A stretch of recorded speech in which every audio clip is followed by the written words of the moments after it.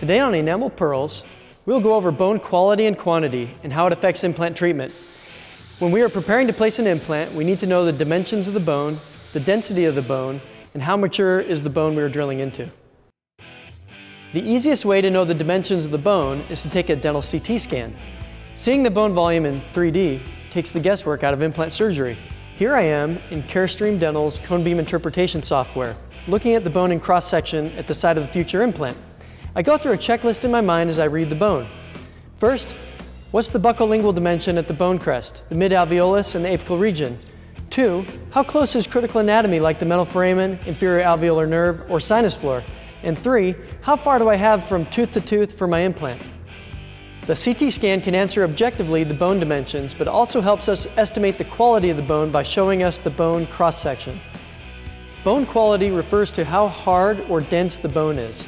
Ideally, we would like a nice cortical shell of bone that will hold our implant rigidly fixated while osseointegration takes place. From the cross-section of bone on a CT scan, we can see the basic density of bone. Some clues to the bone quality are the thickness of the cortical plate, the opacity of the marrow space, the size of the marrow spaces, and the region of the mouth in general. Carl Misch's implantology text related bone density to different types of wood. D1 bone is like oak wood, very dense, not very vascular. This bone type can be found in the anterior mandible, especially when the alveolar bone is resorbed and you're drilling into basal bone.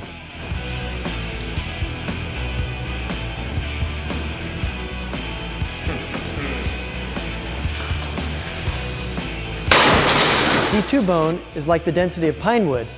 This is our ideal bone density because we have a nice cortical plate with dense but vascular trabecular bone. Drilling into D2 bone is smooth. Implants have a nice fixation in D2 bone. D2 bone is also found in the anterior maxilla and mandible, as well as premolar areas.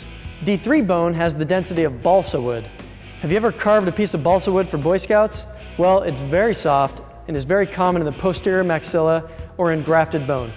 D3 bone is trabecular bone with a thin or non-existent cortical plate.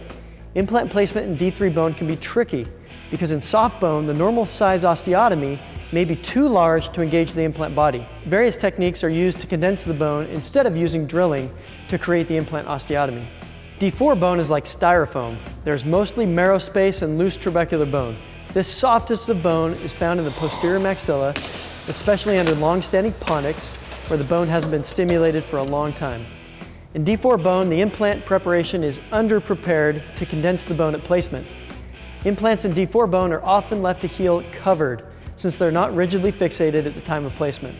Now that we have discussed how to interpret bone quality and quantity, we're ready to place our implant. For more from the Enamel Pearls, visit our YouTube channel at www.enamelpearls.com.